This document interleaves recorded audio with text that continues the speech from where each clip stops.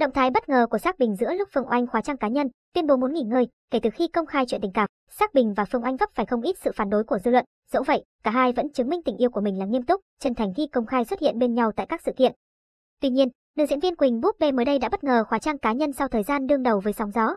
Giữa lúc dân tình đang vô cùng hoang mang thì Sắc Bình đã có động thái gây chú ý trên mạng xã hội. Theo đó, vị chủ tịch Nectech đã cập nhật ảnh đại diện trên fanpage và nhận được rất nhiều lời khen của netizen, netizen cho vẻ ngoài điển trai và phong độ. Trao đổi với Vietnamnet, Phương Anh cho biết lý do khóa trang cá nhân là vì muốn nghỉ ngơi, tập trung cho công việc kinh doanh. Tôi muốn nghỉ ngơi sau thời gian vừa rồi có những lùm xùm không đáng có xảy ra và chính tôi cũng không mong muốn. Trong thời gian hơn một tháng, tôi đã đối diện và xử lý những gì cần thiết, những gì muốn làm, cần làm, tôi đã hoàn tất trong khoảng thời gian qua. Sau khi đối diện với sự cố, giờ tôi thấy đủ rồi và muốn nghỉ ngơi, Phương Anh chia sẻ. Đồng thời, Phương Anh cho biết về việc đóng phim, trong khoảng một năm qua cô không nhận đóng phim mà tập trung kinh doanh. Trước câu hỏi, ồn ào tình cảm ảnh hưởng thế nào tới tinh thần và sức khỏe?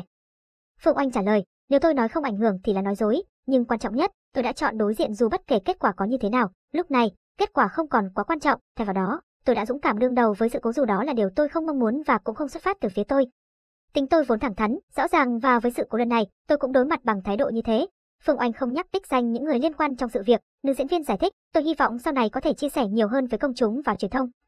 Trước đó sáng ngày 26 tháng 9, nhiều cư dân mạng phát hiện ra nữ diễn viên Quỳnh Búp Bê đã xóa tất cả những bài viết và hình ảnh có liên quan đến Sắc Bình trên trang cá nhân. Động thái này của Phương Oanh khiến nhiều người cho rằng có liên quan đến vợ Sắc Bình sau khi nữ doanh nhân tuyên bố lập phi bằng các bài viết của Phương Oanh. Theo đó, người đại diện theo ủy quyền của Đào Lan Hương trao đổi với Dinh cho biết, bà Hương đã làm việc với Thừa Phát lại để lập phi bằng các bài viết trên trang cá nhân của Phương Oanh về mối quan hệ tình cảm giữa nữ diễn viên này và Sắc Bình, chồng bà Hương. Việc Phương Oanh khẳng định ông Bình độc thân khi hai người đến với nhau là thông tin sai sự thật. Chúng tôi đã lập vi bằng các bài viết nhằm củng cố chứng cứ chứng minh hành vi vi phạm và đề nghị xử phạt nữ diễn viên này, người đại diện của bà Hương cho biết.